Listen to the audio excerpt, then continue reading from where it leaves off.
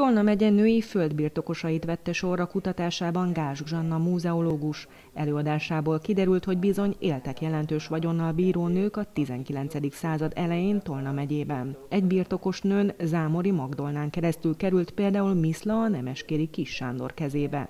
Elmondhatjuk, hogy Nemes Kis Sándor nagyon szerencsésen házasodott, mert második felesége az ugyancsak nagyon tekintélyes Daroci családtagja, Daroci Zsófia, ő, őneki köszönhetően szerzi meg Paks és Bölcskei részbirtokait. A kutató olyan érdekességekre bukkant, amelyek jelentősen átalakítják a nők társadalmi helyzetéről való vélekedést.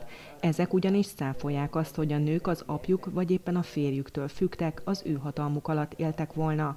A 19. század elején például a jelentős vagyonnal rendelkező Percel Anna egy családos férfival élt együtt, és kilenc gyermeket szült neki. Az utóbbi évek kutatásai azonban jelentős mértékben árnyalták ezt a képet.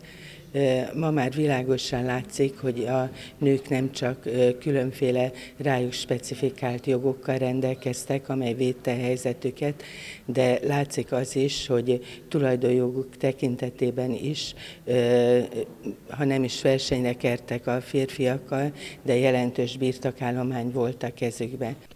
Több mint öt éve tart rendezvénysorozatot a Tolna megyei Múzeum a Magyar Tudomány ünnepe alkalmából.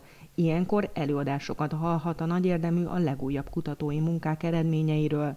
Idén tíz előadással készültek az intézmény tudományos munkatársai. A múzeum, mint nem csak közgyűjtemény, és nem csak kulturális feladatokat ellátó intézmény, hanem tudományos műhely is, és ennek a letéteményesei a múzeológusok, illetve az ő általuk végzett tudományos munka. Erre szeretnénk felhívni a figyelmet. A rendezvény sorozat célja, hogy a tudomány legújabb eredményeit, fogalmait, lehetőségeit, perspektíváit bemutassa a tudomány iránt érdeklődő nagyközönségnek.